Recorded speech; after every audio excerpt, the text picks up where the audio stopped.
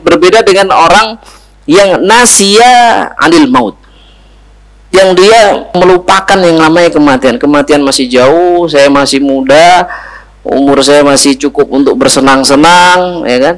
Dia tidak berpikir bahwa saya dia berpikirnya adalah kematian masih panjang masih jauh ya kan?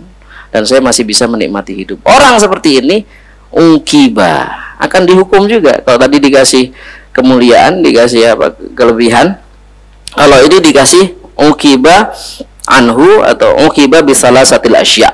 Dia akan dihukum dengan tiga hal.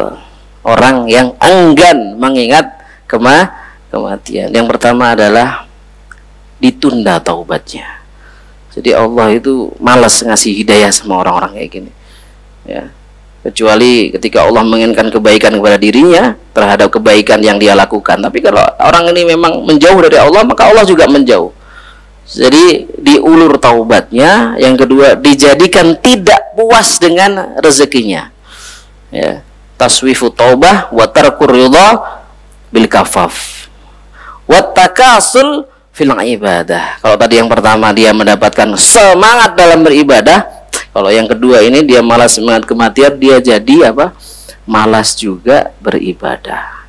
Ya kan, Bu? Jadi orang kalau selain dia itu malas beribadah, orang yang enggan mengingat kematian dia akan tamak. Dia akan ta tamak. Kalau dia seorang pejabat, selama dia bisa korupsi ya korupsi. Ya, nanti nanti dia mungkin baru sadar ketika kematian itu sudah dekat dengan dia.